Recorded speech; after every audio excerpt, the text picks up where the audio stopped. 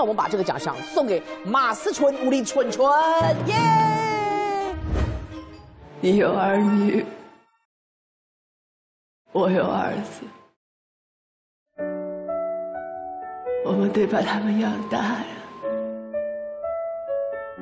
于正高，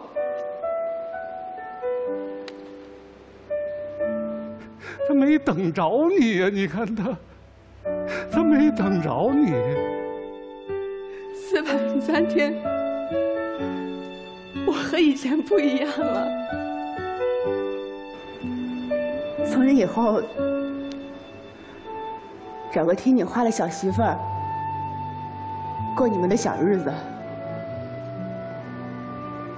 我这个李太太，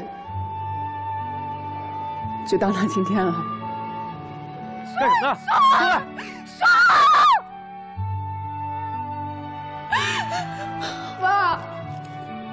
对不起对不起明明很疼我。明明我爱你。